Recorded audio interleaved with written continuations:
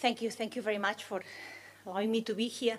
This paper is called Ethnic Conflict, the Role of Ethnic Representation, and it joined work with Sonia Bhalotra and uh, Lakshmi Iyer. It's still work in progress.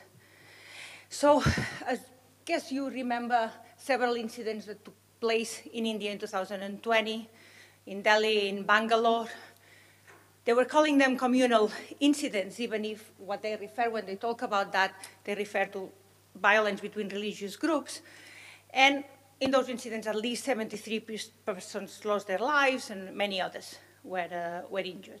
Religious conflict is not something that only happens in India. You all know that it's an important component of many within country conflicts around the world. And in India, however, these conflicts, the majority of these conflicts are between Hindus and uh, Muslims. Hindus are around 79% of the population, and Hindus form around 14%. So there have been some incidents of special relevance with a large number of injuries and deaths, like what happened in Gujarat in 2002, where some Muslims uh, attacked a train where some Hindu pilgrims were, and also in Uttar Pradesh in 1992, where some Hindus demolished a, uh, a mosque in Ayodhya. So it, it, goes in both ways, and, and there have been some incidents of special significance, what we want to understand in our research is whether ethnic political representation affects ethnic conflict. In particular, whether the presence of Muslims in state legislatures in India changed the probability of Hindu-Muslim violence. And then in order to analyze this question, we create two data sets. One is on Hindu-Muslim violence. We extend the Varshney-Wilkinson dataset from 1995 to 2010, and the other one is on the religious identity of state legislators that we have already used in some other papers. Now, since the presence of Muslim legislators is endogenous, or we cannot randomize Muslim legislators, we take advantage of the fact that some of them win in close elections against non-Muslims, and we use a, a regression discontinuity design. Today I'm going to use an approximation to a regression discontinuity design using two-stage least squares, so with the data that we have. So India gives religious freedom and, uh, and allows Muslims to propagate their religion. They are a minority still. They are 14% of the population, even if India hosts the largest Muslim population in the world. And they're a bit different from Hindus in the sense that they're more likely to live in urban areas. They're poorer, but they display better health outcomes. So why do we think that Muslim politicians could have an effect of interreligious conflict? Well, there are several mechanisms that could be taking place. Previous literature suggests that Muslims have been the ones that have suffered more from conflict. So then this means that maybe security or lack of violence is a public good that Muslims like to have, so politicians may be more likely to invest in that public good and to provide security. How could they do that? Well, they can mobilize the state machinery, for example, use the police, control tensions before the violence erupts, or maybe use community-based institutions to resolve these disputes. And alternatively, however, maybe the presence of Muslims in public office generates backlash, and then that increases conflict. That would be consistent as well with previous literature that suggests that when Muslims do well economically, violence increases. So when they have more political power, maybe violence increases as well.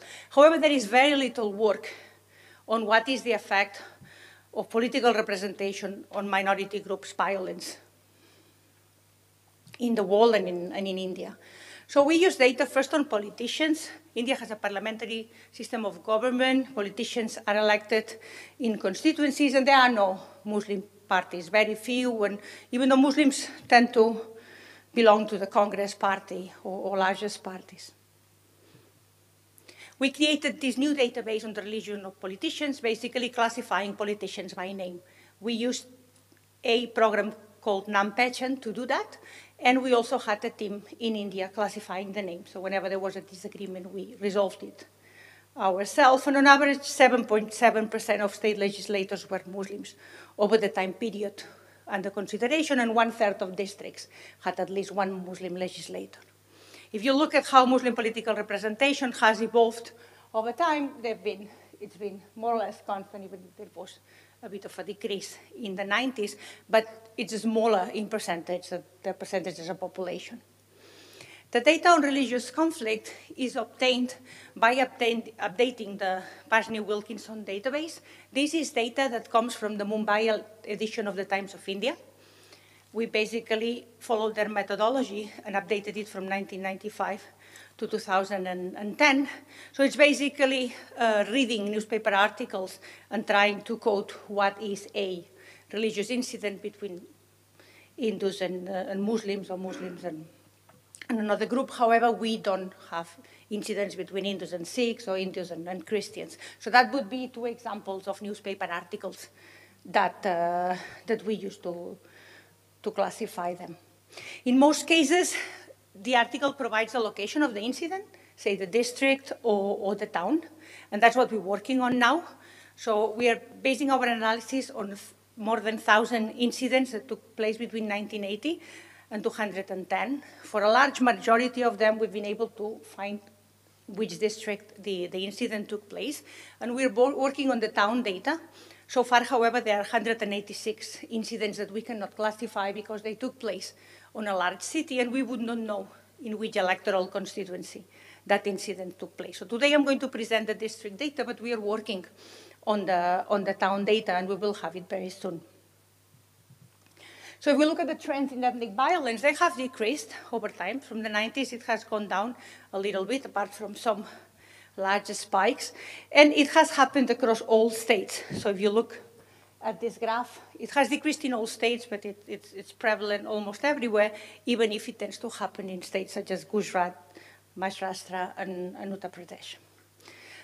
Now our question is whether political representation affects religious violence, so how do we identify this?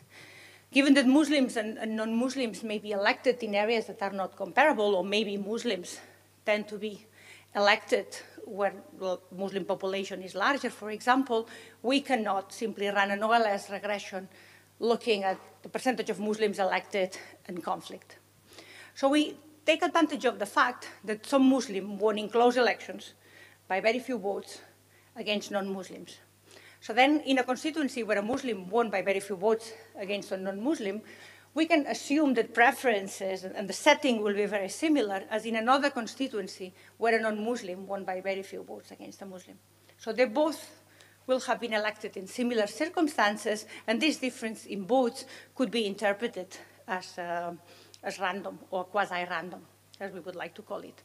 So then this regression discontinuity would allow us to estimate the causal effect of a Muslim political victory on violence. Now, in the, in, in the current setting, we implement it as a two-stage least squares regression because we don't have information on the particular constituency where the Muslim was elected and the conflict took place. So we have districts where there are around 10 constituencies, and we know that the conflict has taken place in that constituency, in that district, but not in which particular constituency. This is the next step, what we are currently working on now. So then what we do is we use regression discontinuity as a two-stage least squares.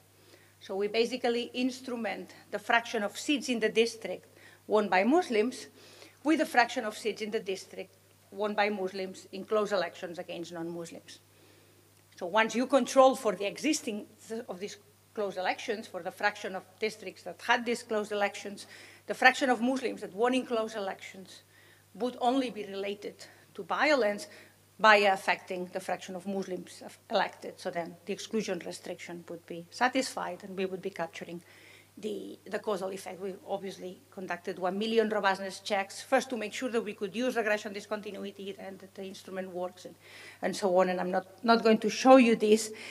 And I'm not going to show you all of the, all of the results, but some, some of the main ones that are robust to, to many specifications. So here you have the dependent variable, what we're interested in is number of incidents in the, in the first column, and we see that the fraction of Muslims elected, instrumented with a fraction of Muslims in close elections, decrease the number of incidents. If instead of looking at the number of incidents, we look at the probability that there has been any incident, we also observe a significant decrease.